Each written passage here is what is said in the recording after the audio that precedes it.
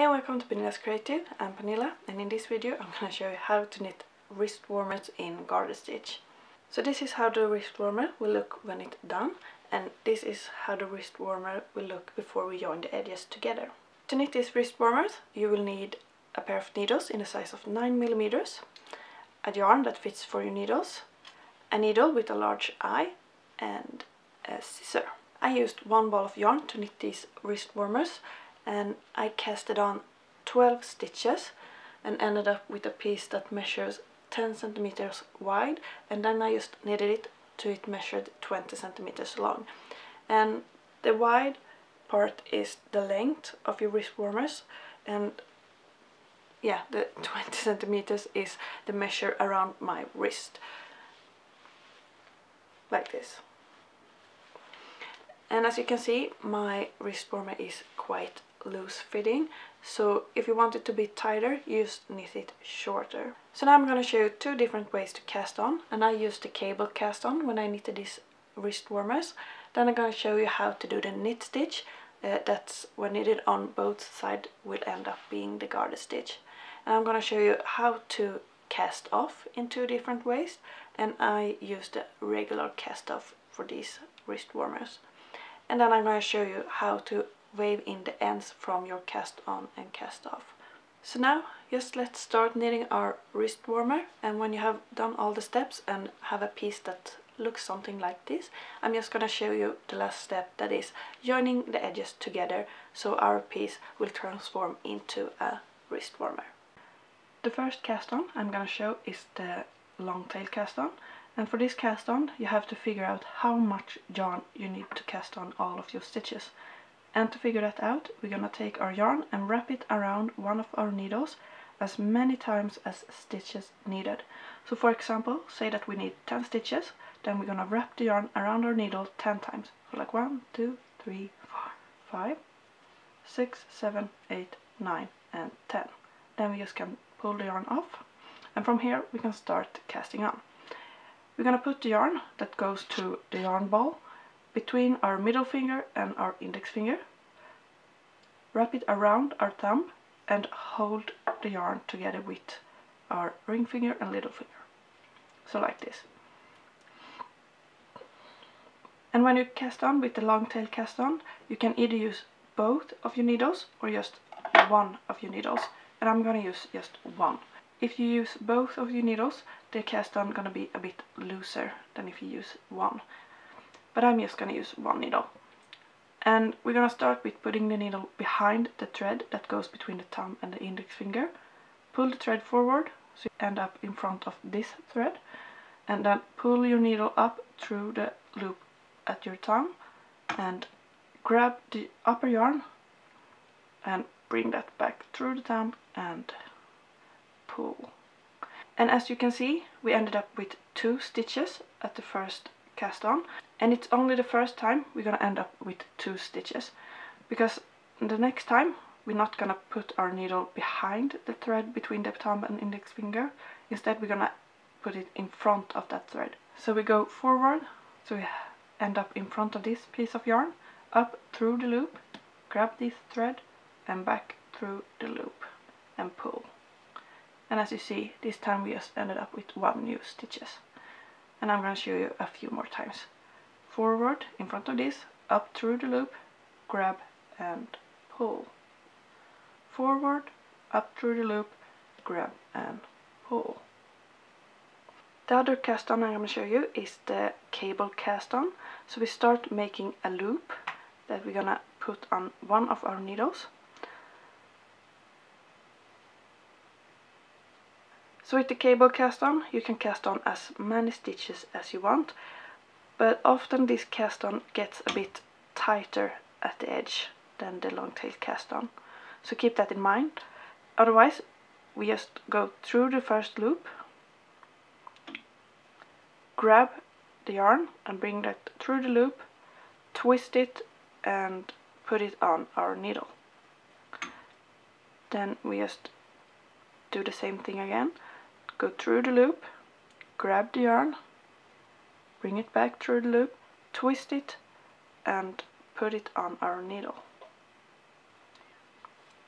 we're going through, grab, twist and put it on our needle.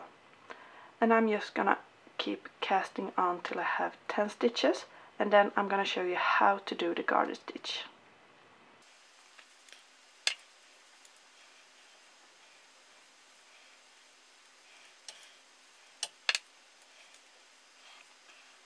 And now I'm going to show you how to do the garter stitch. And to make a garter stitch you only need to use the knit stitch. And the knit stitch is like you go through the first stitch, grab the yarn, pull it back through the first stitch and pull it off. Go through, grab and pull it off. Go through, grab, pull off. And this you do on both sides of your work. So I'm just gonna knit this side and show you that you do the exact same on the other side. And when you start knitting on the other side, remember to take your yarn under your needle because if you take the yarn over your needle, as you can see, it looks like you have two stitches here instead of one and this is the most common reason why you accidentally add extra stitches when you're knitting. That you put your yarn over the at the beginning and start knitting like there are two stitches. Like this. Pull that off and oops there you have one more stitch. And yeah that's the most common reason you're adding an extra stitch in every row so remember, under your needle. Then you can start knitting. And yeah, we just keep knitting, knit stitch, and our work gonna turn out a garter stitched piece.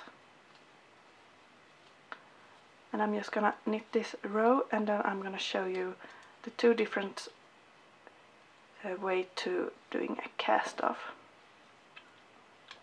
So now I'm going to show you how to do a cast off and the first one is the most common cast off and you just keep doing knits. I'm going to knit over two knits and then I'm taking the first stitch and pulling it over the second stitch and that's one cast off. I'm gonna do it again, knit over so I have two stitches, take the first one, pull it over the second one and I have done another cast off. I'm gonna show it one more time. Knitting over so you have two stitches. Pulling the first one over the second one.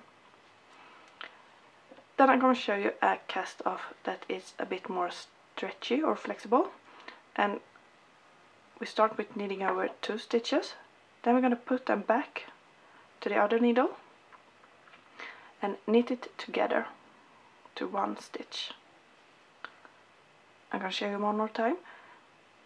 Knit over so you have two stitches, put them back to the other stitch, knit those together and you have one stitch. And I'm to keep knitting with this flexible cast off and then I'm to show you the difference of them.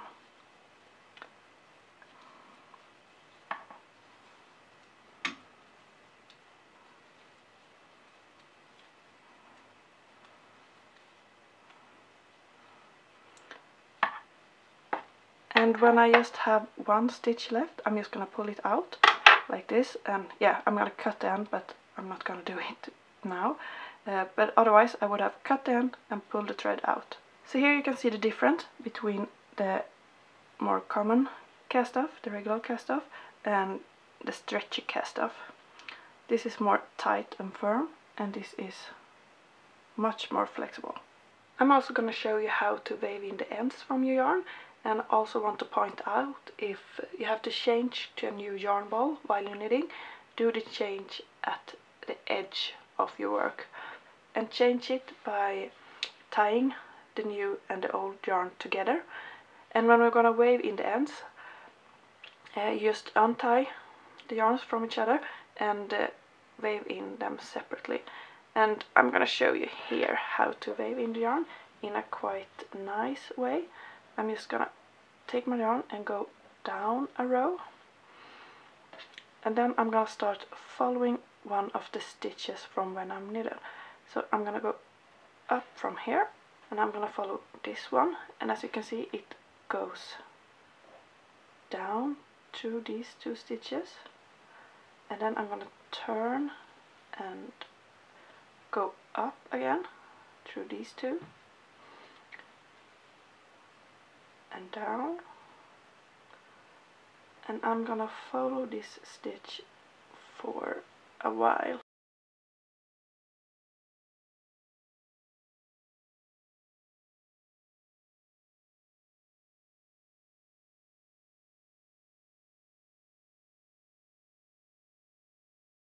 Here will do. And as you can see you can't see where I have weaved in the end of this yarn. So now I can cut this off. So when you're done with your piece we're just gonna join the edges together and we're gonna join them at the edges where we have casted on and casted off. So we'll put them together like this. Take our needle with a piece of yarn and start joining the edges. And I will join the edges by going through the casted off stitches and the casted on stitches. So I will start with the first casted off stitches here and then I will go through to one of the casted on stitches, the first one. And I used the cable cast on, so if you use the long tail cast on, your start will look different from mine. But you just go through the first cast it on stitch and then you then you just keep going through the rest of your casted on stitches and your casted off stitches. So here I have my next casted on. Go through it and then over to the second casted off. Then we go through the third cast off and the third cast on. And then I just keep joining the edges like this all the way over to the other side. And when I've done that I just gonna wave in the ends from our yarn thread. And I can do it the same way I did with the other ends I showed before. And this is how it will look when you have joined the edges and waved in the ends. Now you're just gonna turn it inside out so you get the seam on the inside like this. And yeah then you're done with your wrist warmer.